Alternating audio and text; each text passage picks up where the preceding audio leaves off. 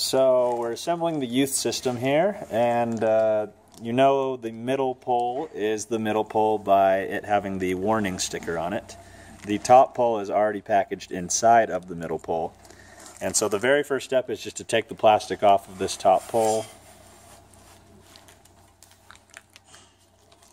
and slide the top pole up out enough to where you can get the plastic off.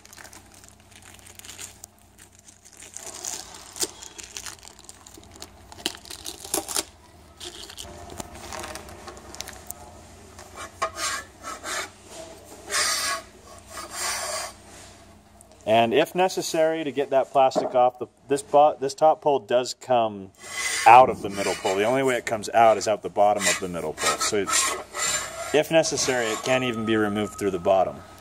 But the only way the top pole is going to go back into, or the only is going to go back in the middle is up through the bottom of it.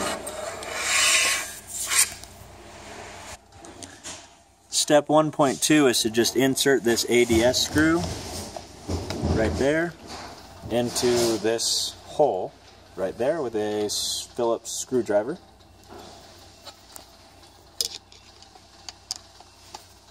You've got to push pretty hard to get that to go in and once it's in there it'll just spin freely. The only purpose of this screw is just so that this top pole that's up in this uh, side this middle pole doesn't fall down out of there. This screw just keeps that top pole from falling down out of there. That's all it does. Which way does it need Step uh, 1.3 is just attaching, this is what's securing the top pole to the middle pole with this bolt and knob. And as you can see, the there's the two holes right there. That's where your backboard's going to mount is those two holes. So your two holes mount right there. That's for the backboard. So that's the hole that you're going to attach the top to the middle pole with, with this bolt and knob.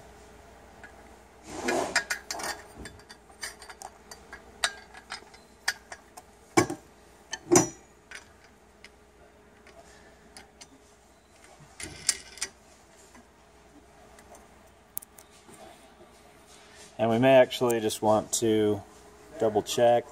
Usually the this warning sticker wraps around uh, the whole the whole pole, but generally the warning sticker being on the front and the knob being on the back is how, how it wants you to do it. 1.4 is where you're going to attach your bottom pole to your middle pole, and you're going to use a screw again, um, just to make sure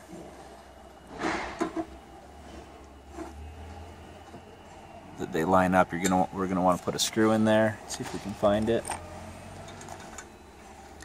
This screw is so that when you're seating the poles together, the poles don't twist and misalign. So this is basically just an alignment screw.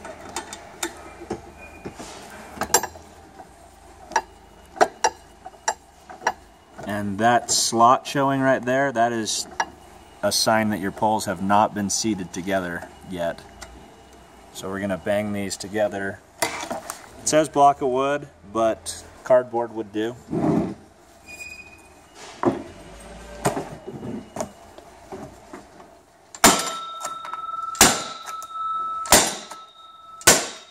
Okay, let's see if that slot's covered.